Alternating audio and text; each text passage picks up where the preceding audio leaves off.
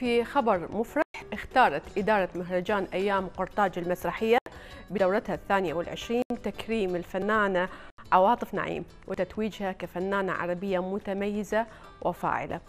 وطبعا سبق تكريم الفنانة الدكتورة عواطف نعيم من قبل مرتين في هذا المهرجان ويسعدنا اليوم تكون في آه، ظهيرتنا تنضم لنا من استوديوهات الشرقية ببغداد. يا أهلا وسهلا. دكتورة عواطف نعيم دائما يسعدنا وجودك وطلتك ويانا بالظهيرة. آه، وحالة الإبداع اللي مرتبطة بيك آه، في كل مسيرتك الفنية. فألف مبارك لهذا التكريم. أهلا وسهلا بكم مساكم العافية. أهلا وكل الهلا. وشكرا للشرقية المبادرة والدؤوبه دائما في متابعتنا والاهتمام بنا. هي شاركنا أفراحنا وشاركنا أحزاننا وإن شاء الله الأحزان بعيدة عن الجميع. شكرا لك ست رقية وإنت تديرين هكذا برنامج بهذه الحالة من القلق والمحبة والجمال. والتحايا موصولة لأستاذنا الكبير الفنان الموسيقار الكبير فاروق هلال. هذه الطلة المميزة. طبعا أنا أشكر الشرقية لأنه لأنه الشرقية أضاءت جوانب من حياة هذا الفنان العملاق الكبير العراقي واللي أنا أفتخر به وسعيدة بوجوده وسعيدة بطلته.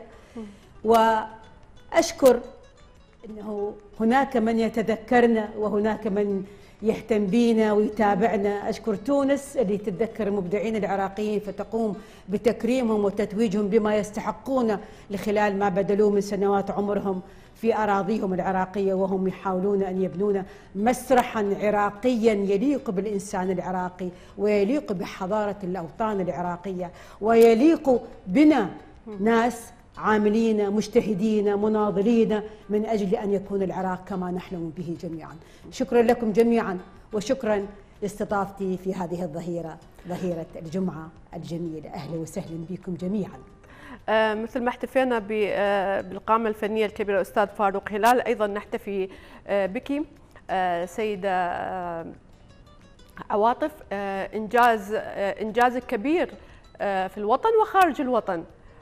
وغالبا ما تأتي التكريمات من خارج الوطن و يعني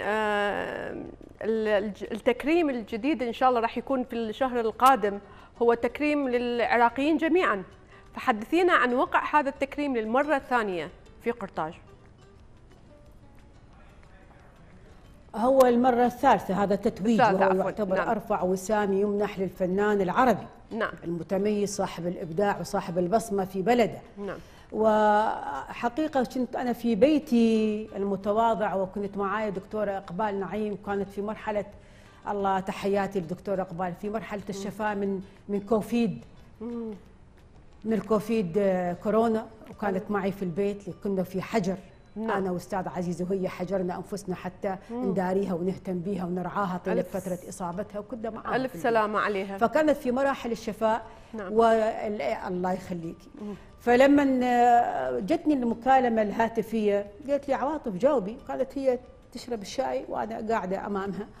آه، فقلت لها مو ضروري قالت لي لا ضروري جاوبي خاف أحد طالبك. ففعلا جاوبت على التليفون وإذا اطلع علي مديرة المهرجان السيدة إنصاف وتتكلم معي بكلام جميل وعذب وتبشرني إنه تم اختياري للتتويج كفنانة عربية متميزة في هذا المهرجان العريق أيام قرطاج المسرحية. نعم. هذا مهرجان كبير. طبعا. وإلى مكانته على مستوى الوطن العربي وعلى مستوى العالمي أيضا. أن يجي يعني يتوجني مرة ثالثة في هذا المهرجان أمام كثير من الجمهور والحضور والمشاركين في تلك التظاهرة المسرحية الكبيرة فهذا بالنسبة لي خبر مفرح طبعا. مفرح وهو تتويج لكل المسرحيين العراقيين تتويج بمكانة وأهمية المسرح العراقي نعم. ولكن شنو اللي يألم يا سيدة رقية وخلي يسمعني الجميع نعم. أنه ليس ثمة من يهتم. يعني آه، نشرت على الصفحات الأولى في الزمان نشر خبر, خبر تتويجي. بس انت بالبداية ما لم يكن هناك من يهتم. ليس من ثمة نقابة تبارك أو مثلا دائرة تبارك. عدا أن هناك كان تحرك لطيف وجميل من السيد وزير الثقافة الدكتور حسن ناظم أنه اهتم بمتابعة هذا الخبر والسؤال عنه من خلالي أنا حتى يعرف شنو مكانة وأهمية هذا الخبر وأهمية تتويج فنان في هذه المرحلة. نعم. فاللي يؤلمنا حقيقة. ليس ثمة من يهتم. ليس ثمة من يسمع يا سيدتي. وكأنه إحنا هذا يعني تحصيل حاصل. يعني وإذا فاز رياضي وإذا فاز موسيقار وإذا فازت فنانة مسرحية وإذا فاز فيلم سينمائي يعني شنو؟ هذا تحصيل حاصل. لا هذه يجب أن تتم بتكريمات واهتمامات وتسليط ضوء إعلامي على صاحب المنجز والاحتفال به وتكريمه بما يستقى داخل بلده وهو حي يتنفس الحياة وليس وهو يعني يعني بعد ما يتولاه الله سبحانه نعم. وتعالى ويتوفاه نعم. فعند ذلك يعني تطول على قولته هن عفوا هذا المثل ولا هو شوية بي شوية يعني بي شوية جرأة لكن هو يقول حلو المثل يقول يقول بعد ما مات طولت كراعينا يعني يبدون يتذكرون فلان وفلان وفلان ويحتفون بهم وهم أموات. يذكرون يعني أعمالهم وإنجازاتهم ويبدعون ولربما يكرموهم وهم ميتين. هاي منتهى السخرية منتهى الضحك. يعني نعم. أن است... أنا اعتبر هذا استخفاف مم. بالفنان العراقي. نعم. استخفاف بما حقق الفنان العراقي. نعم. إحنا نقدم أعمال داخل الأرض العراقية. تمر أحيانا مرور الكرام إن لم نسأل عنها في بعض الأحيان إن لم نوضع في موضع الاتهام والتشكيك حتى في وطنيتنا في بعض الأحيان. وهذه طبعا طامة كبرى. إحنا الآن في الزمن الديمقراطي ما يقال إنه زمن ديمقراطي حر أن نقول وأن نعمل وأن نشاكس وأن نطلق ما في ضمائرنا. ليس في الزوايا الخفية وإنما عبر عروضنا لوحاتنا أغانينا نعم. أعمالنا اللي تحمل مبادئنا وقيمنا وتحمل أفكارنا النيرة المعبرة عن ذواتنا اللي إحنا تربينا عليها. إحنا نعم. جيل جيل الحروب جيل الإخفاقات جيل المجازر جيل المحن اللي مرت على الأرض العراقية. من ولدنا لحتى هذه اللحظة؟ جيل لم يهدأ لم يهدأ. ولم يركن ولم يستسلم. نعم. جيل ما زال حتى هذه اللحظة يقاوم من أجل وطن عراقي يرفل بالحرية والسعادة والأمان يرفع المواطن بالكرامة وحقه في استحصال حقوقه وهي ليست منا. لكن هي واجب على الحكومات وواجب على من يتولى قيادة أمرنا. نعم. أنا لما أشكر الشرقية في بعض الأحيان يسألوني يا عواطف إيش دعوة هالقد مهتمه بالشرقية؟ أقول لهم يا يابا الشرقية مهنية وهذا ليس تملقا لأحد، هاي رأيي، هاي وجهة نظري، هاي أنا ما أؤمن به وأقوله دائما وأعبر عنه. هي مهنية تتابع من تابعنا؟ من تابعنا لما قرأ الخبر وعرف بالخبر؟ من تابعنا من المعنيين داخل الأرض العراقية؟ من اهتم ورفع تليفونه وسأل وبارك أو قال ما هي من وش وقت وشلون وشو قيمة هاي هذا التكريم؟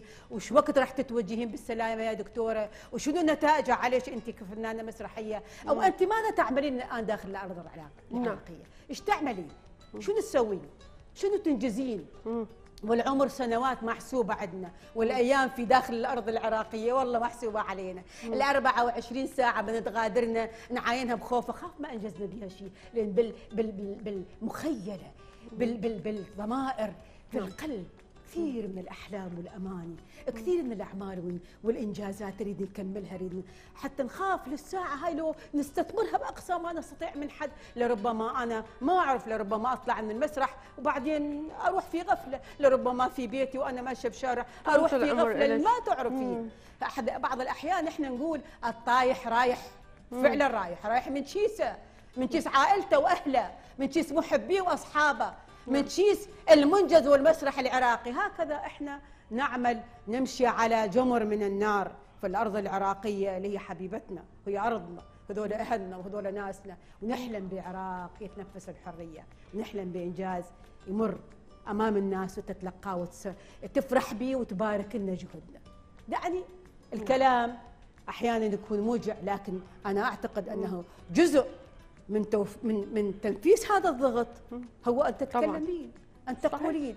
أنا أنا ضد أن أبكي. الدموع عزيزة عندي وغالية. الدموع نعم. جدا غالية عندي لكني علي أن أتكلم بما منحني الله سبحانه وتعالى من وعي وقدرة و يعني عنده سبحانه منحني كثير من العطايا الطيبة. لل- لربما أولها عقل نير أقدر أميز الأشياء وأعرف الغث.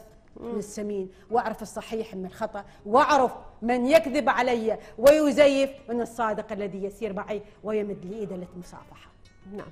آه، دكتورة عواطف اللي حضرتك تفضلتي به أكيد إحنا موافقين عليه. ودائما هذا في طروحاتنا في الظهيرة وبغير برامج إنه متى يكرم الفنان وهو آه، بحياته بحيله حتى يسعد بهذا التكريم حتى يعرف إنه هو آه، بلده دا يكرمه معتز به. هذه تعني الكثير للفنانين. اليوم حضرتك اللي ذكرتيه هو لسان حال الكثيرين من الفنانين المهمشين اللي عندهم إنجاز وهم بالتالي لا يسعون إلى الأضواء. آه، يريد أحد يتذكرهم. فقد حلو من تجي أحد يتذكره وهو يعني كثير هاي راح تسعده. فإحنا نضم صوتنا للمرة الثالثة. إحنا مع كل تكريم انت حضرتك موجودة على شاشتنا وفي برنامجنا حتى نحتفي بحضرتك وللأسف وهذه المرة الثالثة تكرمين وإذا بنفس النقطة إحنا نطرحها ليش ما تكرمون الفنان وهو نعم آه على إذا تتذكرين ست رقيه نعم.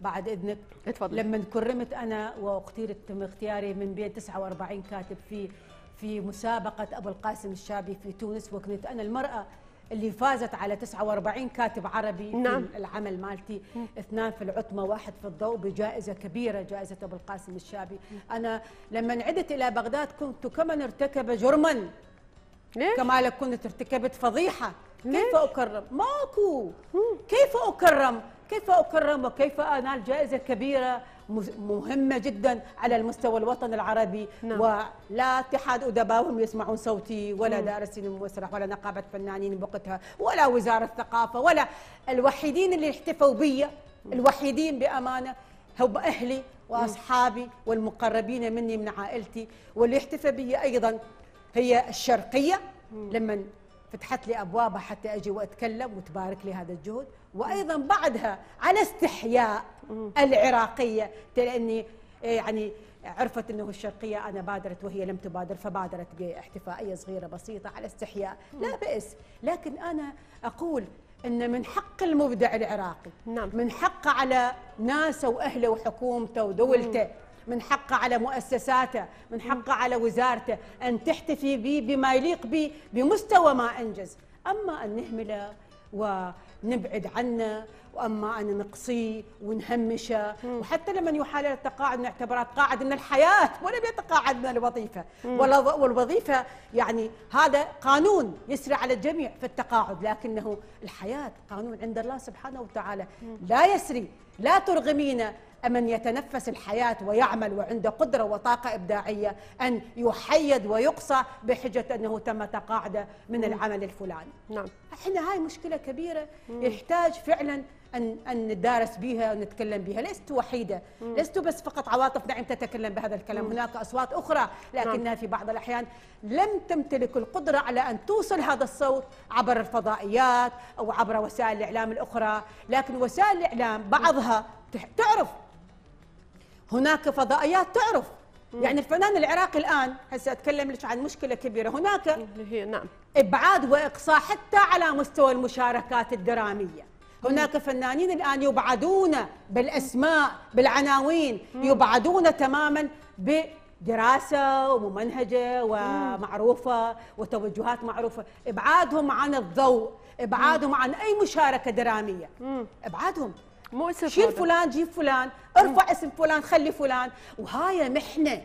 هاي محنة. أنا ما أتكلم عن أرزاق الناس فقط. أنا أتكلم عن حقهم في الظهور والعمل طبعاً. والإنجاز والإبداع.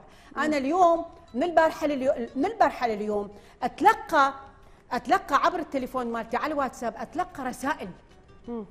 وأتلقى آه، آه، فيديوهات اللي هي عن عنفوان الأشياء. عنفوان الأشياء بثته قناة سعودية امبارح بثته من آه، قناة أعتقد اسمها ذكريات بثت نعم. عنفوان الأشياء للكاتب الكبير صباح عطوان نعم. وللمخرج الكبير حسن حسني نعم. عنفوان الأشياء في وقتها بالثمانينات كان عملا دراميا عراقيا رائعا نعم يعني بدون شك. بحيث الجمهور العراقي والجمهور العربي كله تابعوا وكانوا يطلبوا بال- للإعادات فكان يعاد لأكثر من مرة وإذا اتفاجئ بأن هذا العمل اللي اختفى من الأرض العراقية اللي ما فكرت أي قناة عراقية تشتريه وتقدمه وت- نعم. وتعرضه أو تقدم أفلام عراقية تشتريها بهاي القنوات الكثيرة وتعرضها بدل ما تشتري الأعمال العفوا السورية والمصرية وغيرها م- ب- بعروض ثالثة ورابعة وخامسة. نعم. هذا العمل يطلع ونتلقى عليه تهاني الآن ومباركة وإعجاب شديد. إذا الدراما العراقية بهذا المستوى ما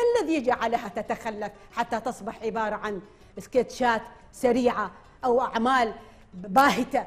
لا لا لا تبقى في الذاكرة ولا تخلد ذاتها من خلال ما تطرح من طروحات أدائية إبداعية فكرية جمالية. نعم.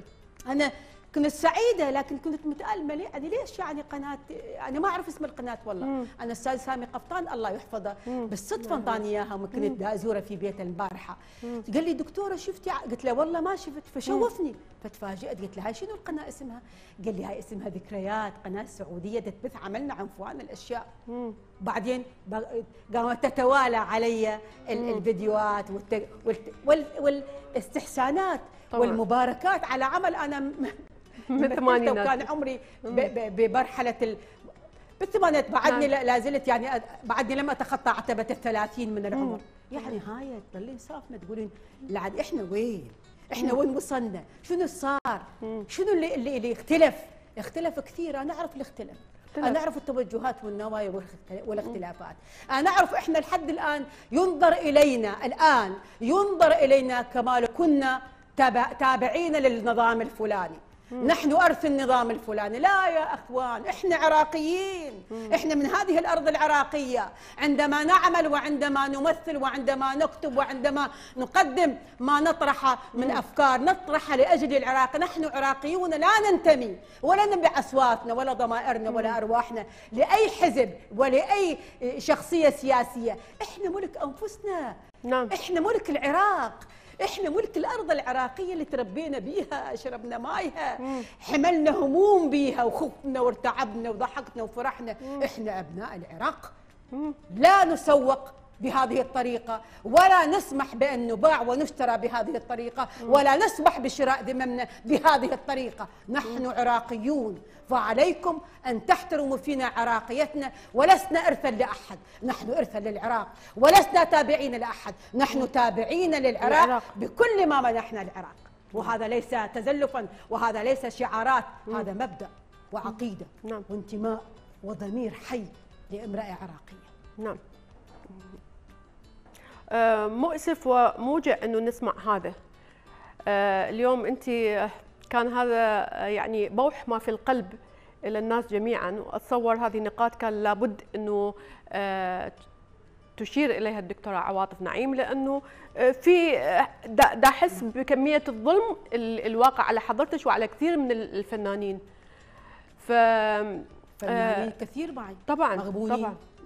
طبعا. يعني دائما ما ينظر للفنانين ال- ال- العراقيين تحديدا وبعد فترة من الزمن ما أعرف ليش آه، تنحسر عنهم الأضواء قسرا مثل ما قلتي حضرتك وبال بينما في بلدان أخرى قيمة الفنان تكبر بمرور الزمن. يعتبر قيمة فنية آه، كبيرة تحتفي به وموجود في كل الأعمال لأنه ما معقولة كل الأعمال هي تتطلب سن معين صح لو لا؟ في أدوار لا لابد من وجود ال- الأب. والأم والجد والجدة. وحلو هذا الشعور إنه جمهورك المتابعك من الثمانينات آه، يكبر معك. له ذكريات مع آه، دكتورة عواطف مع آه، دكتورة إقبال مع نعم، أكيد. مع الكثير من الفنانات. حتى إحنا كنا نكبر وياهم. مع فنانين كبار كثير. نعم. إيه، دكتورة شدا سالم طبعاً، أكيد، دكتورة يعني- سهى هذول الفنانين الكبار اللي لحد الآن هم يحاولون يزووهم ويبعدوهم. عن الظهور بما يليق بهم. سيدتي أنا أقول دائما وأنا أؤمنت من خلال عمري هذا لحد الآن من خلال قراءاتي ومتابعاتي ومشاهداتي بالعالم أجمع أن السياسيون راحلون. نحن الباقين. نعم الطبقة المثقفة الفنانين المثقفين هؤلاء هم الباقون هذول لا ينتمون لأحد هؤلاء ينتمون للضمير الإنساني نعم. وينتمون للأرض اللي ينتمون لها اللي عاشوا بيها الكل راحلون لكن نعم. هم باقون في الذاكرة بدليل أننا لحد الآن لحد هذه اللحظة نتذكر فنانين رحلوا من مصر من من من سوريا نعم. فنانين راحوا من بيروت فنانين راحوا من من الإمارات فنانين من تونس. يعني مو ننسى يوسف العاني خليل شوقي. مو ننسى هاي الأسماء اللاعمة طبعا. جعفر السعدي إبراهيم جلال بدري حسون فريد. هذه أسماء تنسى السياسي الذي حكم وتولى كذا منصب أو كذا لكنك لا تنسى نعم. فنانين.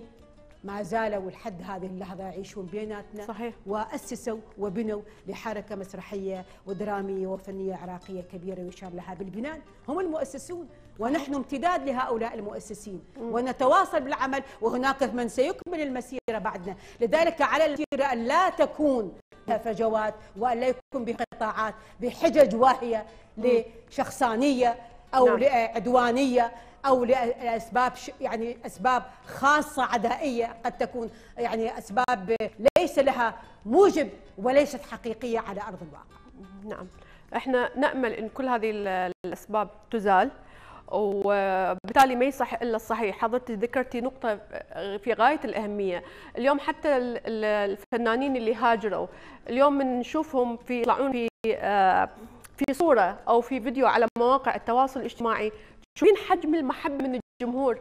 وين صار ذاك الفنان ويذ- يذكرون أعماله ويريدوه يرجع؟ ويريدوه يرجع من محبتهم له يعني آه، كل اللي ذكرتيه حضرتك.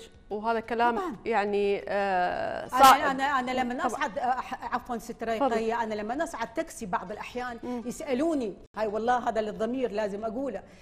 ست عواطف فين أستاذ بهجة الجبور فلما نقول لهم أستاذ بهجه الله يعطيه الصحة والعافية هو بأمريكا الآن ست عواطف ليش بهجة الجبور بأمريكا ما هو هنا إحنا كنا نحبه فأنا. ما عندي جواب. ليش ريكاردوس يوسف دكتور ريكاردوس خارج الأرض العراقية؟ أنا ما عندي جواب. هواية اسماء يعني عادل عادل عثمان. ليش خارج الأرض أنا ما عندي جواب. ما عندي جواب وإجابة عن كثير من الأسماء العراقية. نعم. مثلا الاستاذ حسن حسني لما نعرفه عليه عرفوه هو جاء لما نشتغل الفندق ولما نشتغل العلين في الأرض العراقية. لا تتصورين مقدار الفخر. مقدار فرحة الشباب. هذا حسن حسني. هذا الممثل الجميل هذا المخرج الكبير العراقي يروحوا له يزوروا ويحجون له حتى يشوفوه يتعرفون عليه يقتربون منه لأنهم شافوه وعرفوه من خلال أعماله الجميلة المميزة طبعاً. من خلال رؤاه الم... ال... ال... ال... المبتكرة والجديدة طبعاً. والسابقة لزمنها. شافوه من خلال هذه الأعمال. فأنا حقيقة ما أقدر أجاوب. ما أعرف شو أقول لهم.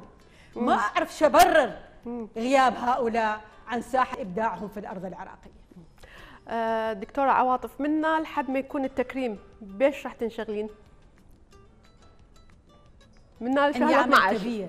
الآن على مسرح آشور. نعم. نعم عندي عمل كبير في مسرح آشور اسمه أنا وجهي. هو دعم من وزارة الثقافة ودعم من دائرة السينما والمسرح بشكل كبير. دعمتني ووقفت معايا وقفة رائعة. أنا أشكرهم لكل القائمين على دائرة السينما والمسرح. وهذا العمل معايا بنجوم عراقيين رائعين. على كتابتي وإخراج العمل. اسمه أنا وجهي. معايا دكتورة شدا سالم الرائعة طبعاً. الكبيرة. تحياتنا كبيرة. بالمسرح العراقي كبيرة بالفنون.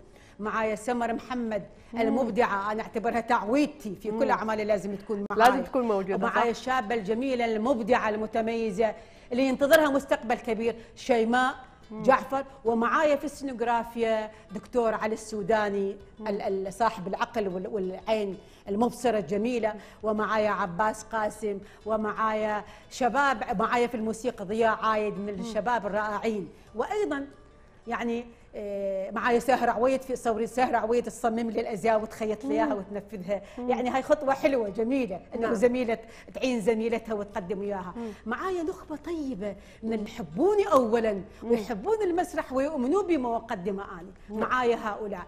وأيضا الدائرة كلفتني بأن أقدم عمل بحدود 20 دقيقة في افتتاح مهرجان العراق الدولي للمسرح. ومعايا هنا أيضا نخبة من زملائي وإخواني معي الكبير محمود أبو العباس معي الكبير آه، آه، عزيز خيون معي الكبير المبجل آه، سامي قفطان ومعايا الكبير دكتورة هيثم هيثم عبد الرزاق. ومعايا الفنان المبدع اللي أحبه كثير رائد محسن ومعايا من الفنانات أيضا. الدكتورة شدا سالم وست سمر محمد وست هناء محمد. وإحنا كنا حنعمل نحاول نقدم افتتاحية جميلة تحت عنوان ارتجال مسرحي. نقدم لكل اللي راح يجون ويحضرون. كيف أن المسرح العراقي معافى؟ كيف أنه جميل؟ كيف أن قيم الخير والنبل عنده موجودة؟ وكيف أن هذا المسرح مسرح الرشيد نعم. اللي حيتم افتتاحه من خلال المهرجان من خلال هذا العرض. نعم. هو مسرح شهد شبابنا شهد عصارة ما قدمنا شهد جمال ما قدمنا شهد عروض مسرحية. إن تتحدث عنها الأجيال المقبلة وتكتبها في أطاريحها وتناقشها في رسائلها في الدكتوراه وفي الماجستير. تشهد هذه الخشبة ما قدم الممثل العراقي والفنانة نعم. العراقية من أعمال متميزة حقيقة. طبعاً. وأيضا تشهد الخشبة عروض مسرحية عالمية وعروض مسرحية عربية ومهرجانات في مسرح الرشيد؟ من الجمال. في مسرح رشيد حضرتك في قلت- مسرح الرشيد آه. حقا أنا مسرح أشهد. الرشيد اللي حيتم افتتاحه من خلال هذا المهرجان والله هذا خبر نعم وانت تشهدين أيضا إيه كم كم شاركتي. عرض يعني حضرت هذا فيها ما شاء شاركتي. الله اي إي. طبعا حضرتي ويانا طبعاً، وشفتي سيمفونيات إيه، وشفتي طبعاً، مؤتمرات وشفتي إيه. آه، مو- موسيقى وشفتي يعني أسابيع أفلام مسرح الرشيد هيك أفلام. اي مسرح الرشيد آه، مسرح إلى وقع خاص بنفوسنا وإلى مكانه آه، مسرح يعني حالة حالة الوحدة حالة بيتنا خاصة. الجميل. أي، بالضبط. بيتنا الجميل اللي عجزت الدولة لمدة أسب- 18 سنة. تخلي طابوقة بيه وتعيد له الألق مالته وتحاول تبنيه وهي ما شاء الله يومية عندها خطة. يومية تقول خبن هاي مالت خطة مالت آه، بغداد عاصمة للثقافة قلنا خلاص بعد شوية يتعمر لأن خصصوا له المبلغ والمبلغ راح ما تعرفين وين صار سبحانه ربي ما تعرفين أي. كيف اختفى المبلغ. آه لكن البقى الرشيد لحد ما تحركوا أبنائه شبابه. نعم. لربما على رأسهم الفنان الشاب أحمد حسن موسى وهاي اللي نقولها بالممكن حاول يعيد للمسرح الرشيد علاقة بالممكن نعم. بالمتوفر. هو ومجموعة وكانوا يحلمون قبل اللي يحلمون ويروحون أنا أذكر دكتورة إقبال نعيم ركضت وطرقت كل الأبواب لما كانت مدير عام دائرة السينما سينما نعم. المسرح وكان طرقت كل الأبواب وتتوسل تريد يعاد لهذا الم- المسرح علاقة نعم. لأنه هو مو فقط مسرح هو عالم هو نعم. حياة نعم. هو ضمير هو شاهد على عصور كثيرة مرت وتقلبات سياسية كثيرة مرت وشهدها هذا المسرح من خلال صحيح. عروضه ومن خلال ما قدمه طبعاً. من خلال فنانين اللي اعتلوا شهدته طبعاً، أكيد. مقدرة متى متى راح يكون الافتتاح؟ ومحاولات فردية ها.